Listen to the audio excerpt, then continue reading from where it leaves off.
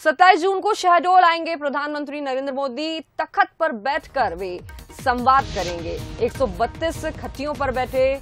तीन सौ बासठ लोगों से वे संवाद करने वाले हैं। पारंपरिक वाद्य, यंत्र और नृत्य से उनका स्वागत किया जाएगा। आम के बगीचे में बैठकर वे ग्रामीणों के साथ भोजन करेंगे। एक्सक्लूसिव तस्वीरें। सबसे पहले बंसल न्यूज़ पर आप देख सकते हैं टीवी स्क्रीन पर कि प्रधानमंत्री के शहडोल दौरे को लेकर किस प्रकार से यहाँ तैयारियाँ की जा रही है और खास तौर पर उनके खाने को, व्यंजन को लेकर यहाँ पर किस तरह से खास तौर पे ध्यान दिया जा रहा है और अजय हमारे साथ जुड़ गए। जी अजय, बताएँ किस प्रकार से तैयारियाँ यहाँ पर जा रही है और इस बार उनका जो मेन्यू है, खाने का मेन्यू कुछ खास होने वाला है?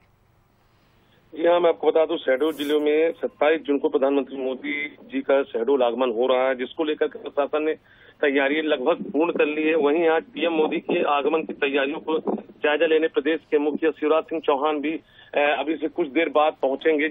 मैं आपको बता दूँ कि पीएम मोदी का जो शेड्यूल कार्यक्रम है वो लालपुर हवाई अड्डे में उनका एक आम सभा को संबोधित करेंगे जिसके बाद ज़िले के पकरिया ग्राम में आदिवासी कल्चर जनजाति समुदाय के लोगों के साथ बैठकर जो जनजाति भोजन है आदिवासियों का जो भोजन है उसकी कुछ स्पेशल भोजन बनाया गया है। कोदो कुट की भात का सेवन वो कांच के बर्तन में और खास जो शीशम की लकड़ी उससे बनाए हुए तखत में बैठ करके वो भोजन करेंगे।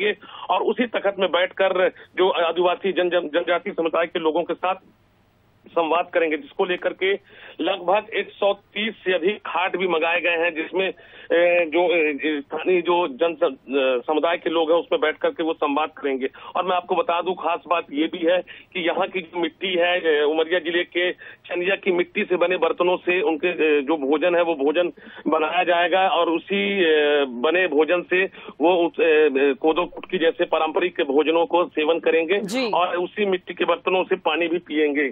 जी। बिल्कुल तो शहडोल के निवासी लोग सब टकटकी लगाए बैठे होंगे कि कब प्रधानमंत्री नरेंद्र मोदी यहाँ पर आए और हम उनका भव्य रूप से यहाँ पर स्वागत कर सके। तमाम जानकारी के लिए बहुत शुक्रिया